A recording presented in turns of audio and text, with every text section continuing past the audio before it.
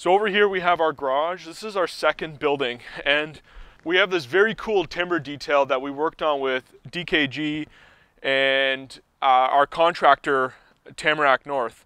You know, we have um, metal brackets at the top and bottom and big Douglas fir timbers kind of going across with a, with a soffit. Um, kind of a cool little flat roof detail. It helps pull the water away from the garage and and just make the garage over overall drier. And, and being in a northern climate here, I'm always a big fan of trying to get snow away from the doors. So it just helps give that little bit of break of snow near the doors. The garage is a few steps away from the cottage and we have our side entrance over here.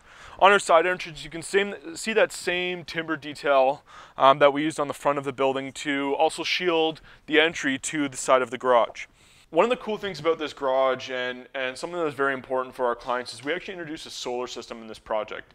Um, in another video, we're going to talk a little bit more about the cottage and how we used a cool system to make the building more tight. And this is just another component of it.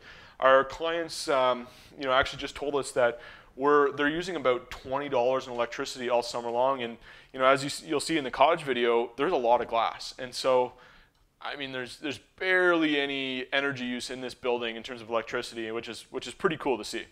The main focus of this garage was to have a second living area for our clients, for guests, and also an art studio. Our client loves to paint, and she wanted to have a separate space that she could do that. So up here in the garage, we have a small living area.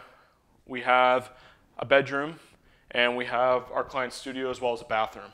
So it's just a, another little place where even if they have guests, you know, someone could almost have their own, own little apartment and do their own thing while they're up here on Lake Vernon.